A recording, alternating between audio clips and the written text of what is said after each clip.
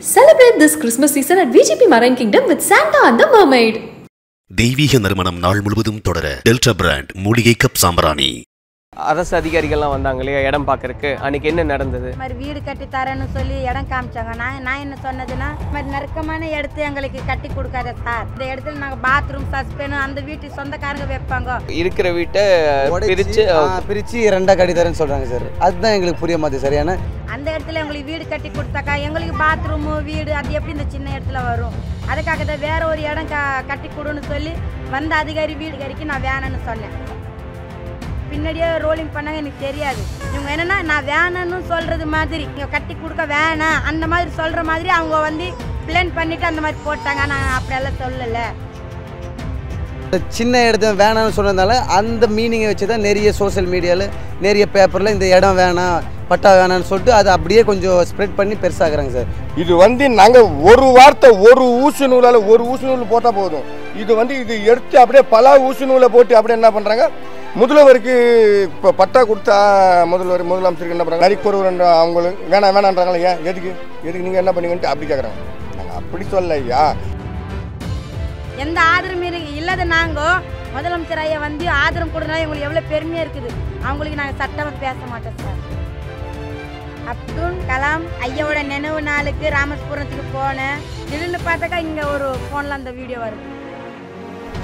ஆனா அதிகாரி அன்னைக்கு வந்தப்போ நீங்க கோபமா பேசுனீங்களா அதிகாரி? கோவம் பேசல சார் நாங்கள் எதுக்கு அவங்க மேலே கோவம் பேசணும்? அதிகாரி வந்து என்ன சொன்ன அதெல்லாம் எனக்கு தெரியாதுமா நான் வந்து பேங்க்ல காசு போட்டு உங்களுக்கு வீடு கட்டுறது ஏன் வேலை. உங்களுக்கு இடம் பார்த்து கொடுக்க சொல்ல அந்த கலெக்டர் சார் கிட்ட தான் நீங்கள் போயிட்டு பேசணும். அவங்க பின்னாடி இந்த வீடியோ கொடுக்க எனக்கு தெரியாது. கலெக்டர் ஐயா கிட்ட சொன்ன பிறகு கலெக்டர் ஐயா வந்து எங்களுக்கு இந்த இடம் நீங்கள் கொடுத்தது இப்போ நீங்க சொன்ன மாதிரி இந்த சின்ன இடம் வேண்டான்றதை ஏத்துக்கிட்டு வேற ஒரு இடம் கொடுத்துருக்காங்க. இடம் கொடுத்துருக்குறாங்க. உலகமே திரும்பி பார்க்கறதுனா நரிக்குறவர் மக்களுக்கு அது காரணமெல்லாம் முதலமைச்சர் ஐயா அமைச்சர் சேகர் பாபா ஐயா. ஜென்மத்தில் இந்த நன்றி நாங்கள் மறக்க மாட்டோம். எங்கே போனால் கூட ந- உங்கள் நன்றி நாங்கள் இருப்போம் மனசாட்சியில் வச்சு இருப்போம் அஸ்வினி. அன்னைக்கு அரசு அதிகாரிகள்லாம் வந்தாங்க இல்லையா? இடம் பார்க்கறக்கு. அன்னைக்கு என்ன நடந்தது? அன்றைக்கி என்ன நடந்துச்சுன்னா இந்த மாதிரி வீடு கட்டி தரேன்னு சொல்லி இடம் காமிச்சாங்க. நான் நான் என்ன சொன்னதுன்னா வீடு வேணாம். வீடு வேணும்னு சொல்ல இந்த மாதிரி நெருக்கமான இடத்த எங்களுக்கு கட்டி கொடுக்காத சார். ரொம்ப நறுக்கமாக இருக்குது. இந்த இடத்துல நாங்கள் பாத்ரூம் சஸ்பெனு அந்த வீட்டு சொந்தக்காரங்க வைப்பாங்க. அந்த இடத்துல எங்களுக்கு வீடு கட்டி கொடுத்தாக்கா எங்களுக்கு பாத்ரூமு வீடு அது எப்படி இந்த சின்ன இடத்துல வரும்? அதுக்காக தான் வேறு ஒரு இடம் க கட்டி கொடுன்னு சொல்லி வந்த அதிகாரி வீடு கட்டி அந்த பேங்க்கில் காசு போடுற வந்த அதிகாரிக்கு நான் வேணும்னு சொன்னேன். வேணாம் சார் உங்கள் இஷ்டப்பட்டு நீங்கள் கட்டி கொடுத்தாக்கா நாங்கள் அங்கே வாழ மாட்டோம்.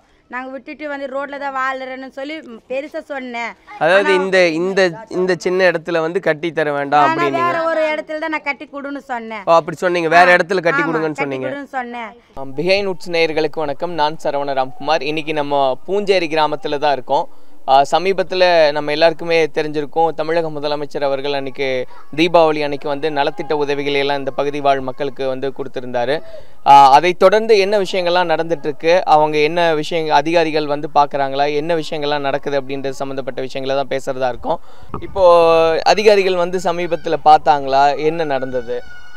அதிகாரி வந்து பார்த்தாங்க சார். என்ன ஒரே ஒரு பிரச்சனை எப்படின்னா நாங்கள் வந்து முன்னாடியே ஒரு வீட்டில் வந்து ரெண்டு மூணு குடும்பமாக தங்குறோம்.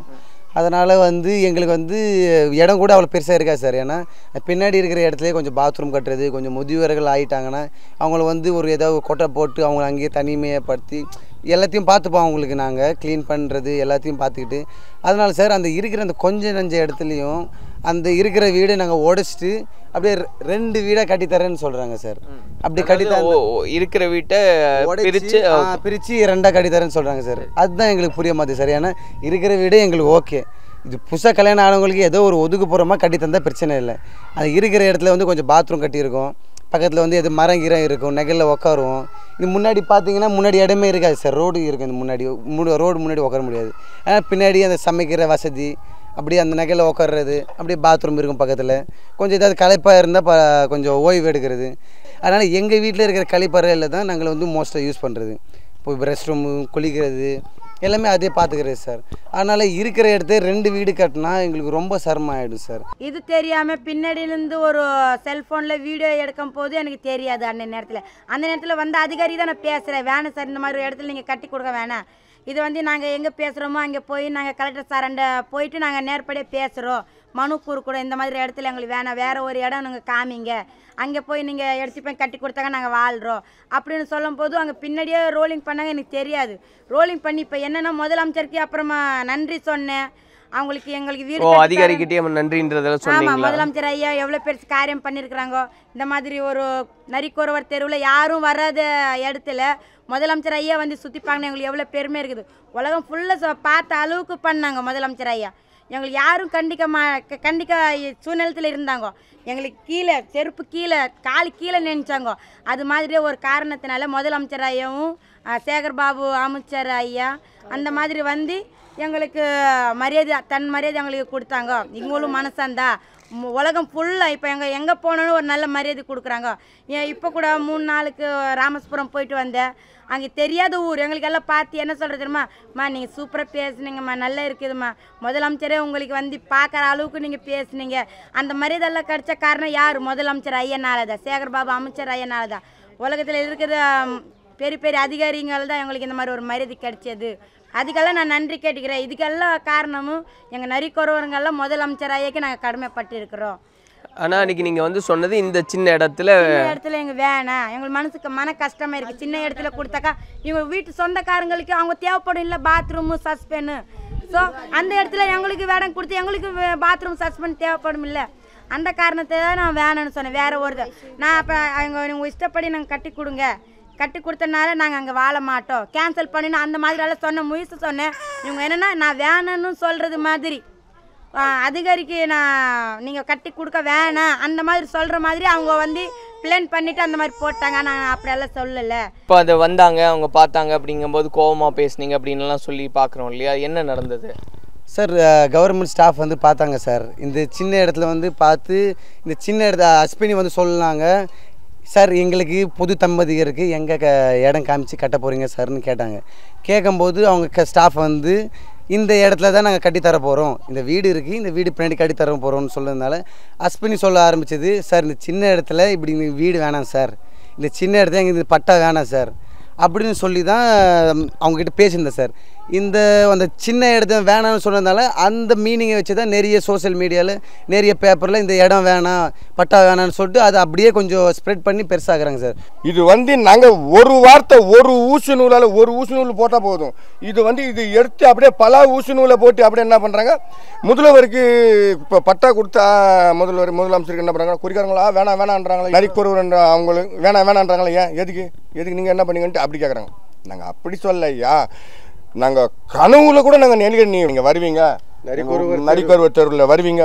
எங்கள் வீட்டில் நீங்கள் உட்காருவீங்கன்றது அந்த கடவுளாலையும் பார்க்க முடியல. ரொம்ப கஷ்டமாக இருக்குது சார் ஏன்னா சொன்ன மீனிங் வேறு சார் அவங்க காட்டினது வேறு மீனிங் சார் அவங்க வந்து இப்படி எல்லாத்தையும் நிராகரி வேணாம் வேணாம்னு சொன்னதுனால நிறைய பேர் வந்து எங்களே ஒரு மாதிரி அந்த பேப்பர்லலாம் பா வாசிக்கும் போது அவங்க சொல்கிறாங்க நீங்கள் தந்த முதல் முதல்வர் தந்த அந்த பட்டா அந்த இடமெல்லாம் நீங்கள் எதுக்காக நிராகரிக்கீங்கன்னு தெரிஞ்சவங்கெல்லாம் கேட்குறாங்க சார் நாங்கள் அப்படி நிராகரிக்கவே இல்லையே சார் இந்த இருபத்தஞ்சி வருஷமாக கிடக்குறோம். என்றைக்கும் ஏதாவது ஒரு உதவி வருமானம் தான் எதிர்பார்க்குறோம் நாங்கள் வந்த உதவியை நாங்கள் எதுக்கு சார் நாங்கள் ஒதுக்க போகிறோம் ஏதாவது ஒரு கஷ்டத்தை தரலான்னு பார்க்குறாங்க. நாங்கள் வந்து கஷ்டத்தில் பிறந்து கஷ்டத்தில் வந்து கஷ்டத்தில் தான் இருக்கோம் சார். இன்றைக்கி கூட கஷ்டத்தில் தான் இருக்கோம் சார். இன்றைக்கி நாங்கள் போய் ஒரு ரூபா சம்பாரிச்சா தான் எங்களுக்கு சாப்பாடு. அதனால் வந்து எங்கள் வந்து ஐயா தந்த இடத்துக்கையும் பற்றி நாங்கள் எதுவும் சொல்ல கவர்மெண்ட் ஸ்டாஃப் பற்றியும் நாங்கள் எதுவுமே சொல்ல எல்லாமே எங்கள் நல்லது செய்கிறாங்க அதாவது எங்களை வந்து யாருன்னே தெரியாமல் இருந்த ஊர் சார் இது. ஒரு பேட்டினால் உங்களால் பேசி அது ரொம்ப அதிகமாக பகிரப்பட்டு இப்போ எல்லாருக்குமே தெரியும். என்னை பார்த்த உடனே நீங்கள் அந்த பிஐ நியூஸில் வந்தீங்களான்னு கேட்குறாங்க அதே மாதிரி அஸ்பினை பார்க்கும்போது நீங்கள் தானே அஸ்பினி ஐயா முதல்வர் வந்து உங்ககிட்ட பா பார்த்து பேசினாரு அப்படின்னு கேட்குறாங்க சார்.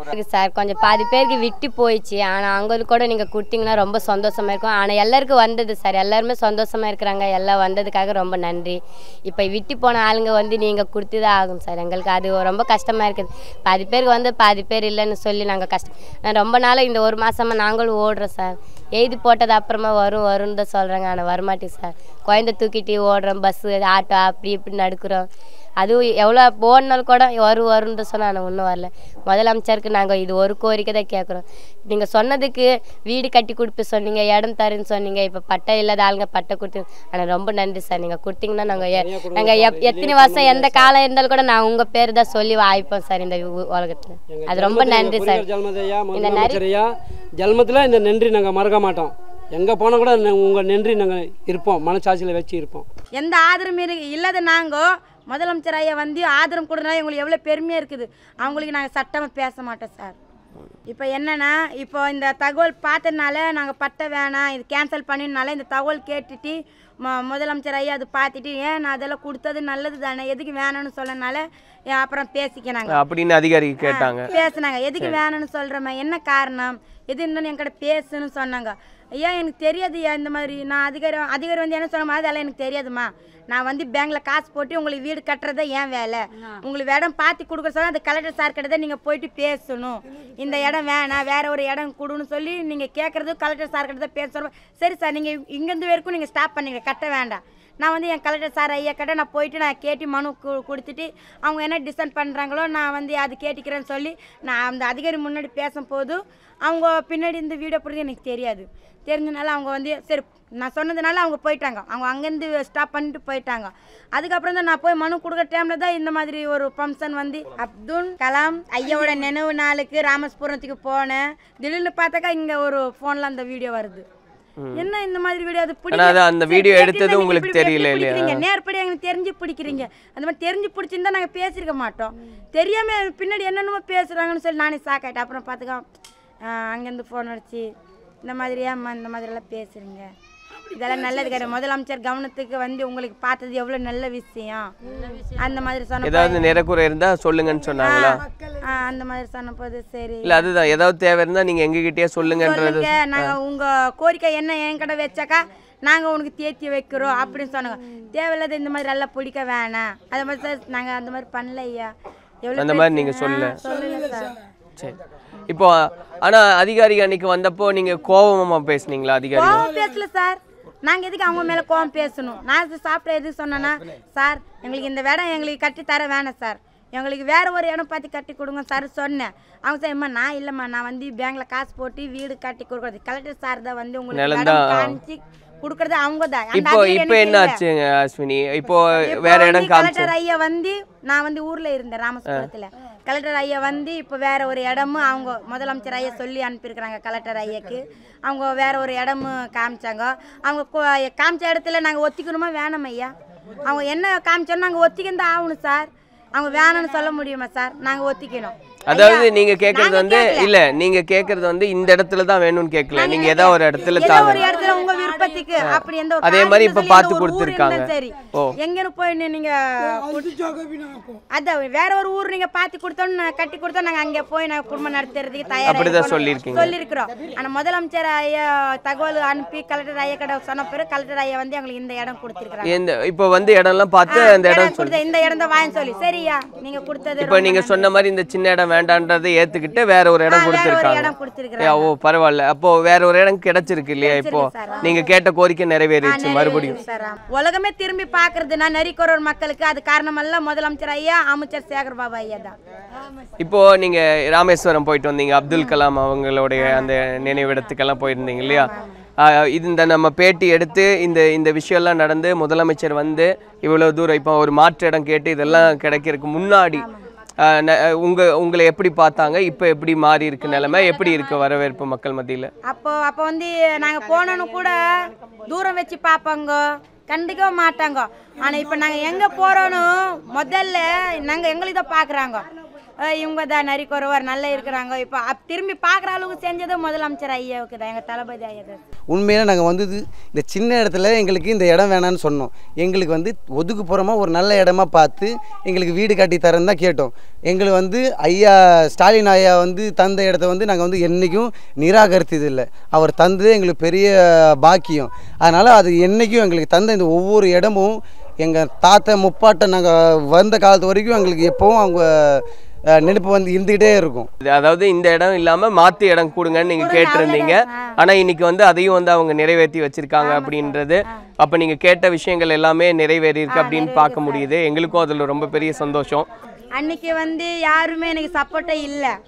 இந்த இந்த இந்த ஒரு நான் பேசுனதுக்கு வெளிப்படுத்த காரணமே பிஎன் நியூஸ் தான். இது இல்லைன்னா எங்கள் மக்கள்கள்லாம் முதலமைச்சர் ஐயா சேகர் பாபு ஐயா இந்த மாதிரி கலெக்டரு இந்த அப்புறமா அதிகாரி வந்து திரும்பி பார்க்காத அளவுக்கு இருந்திருக்காது. பிஎன் நியூஸ் வந்ததுனால எங்களுக்கு அந்த பேசுனால அங்கே எல்லா ஊரில் பரவுதுனால எங்களுக்கு இந்த மாதிரி ஒரு வாழ ஆதரவு கிடைச்சது. அவங்களுக்கு ஒரு நன்றி சொல்லிக்கிறேன். பிஎன் நியூஸ்க்கு ஒரு நன்றி சொல்லிக்கிறேன். Celebrate this Christmas season at VGP Marine Kingdom with Santa and the Mermaid.